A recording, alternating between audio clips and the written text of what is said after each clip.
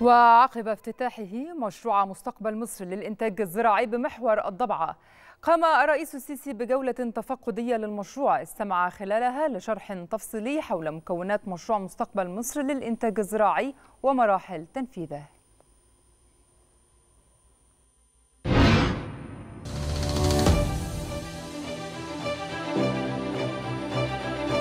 عشان أزرع ال 60000 فدان دول؟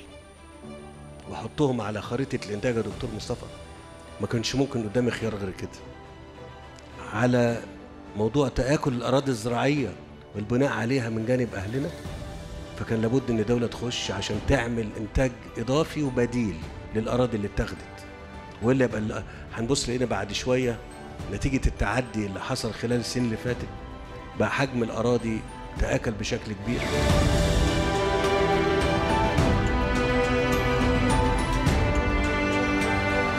حجم النمو اللي موجود في في النمو السكاني لا يتناسب مع حجم النمو اللي الدولة بتعمله.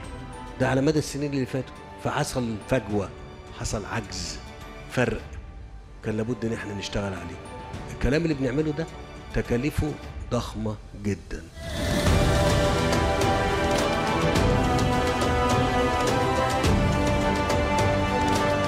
اخترنا المكان ده بني سويف المنيا. كان من ضمن الكلام اللي فيها إن الدراسات كانت بتقول إن المناطق دي أو المحافظتين دول من أكثر المحافظات الأكثر احتياجا.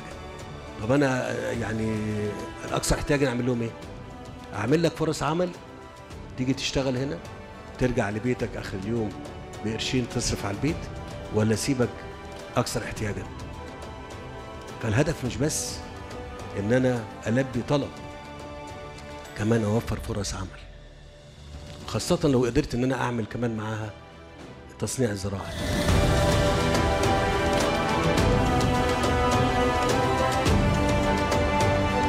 وأنا في تحدي إن أنا البي لكم أو ألبي لبلدي وأهلي وناسي مطالبهم.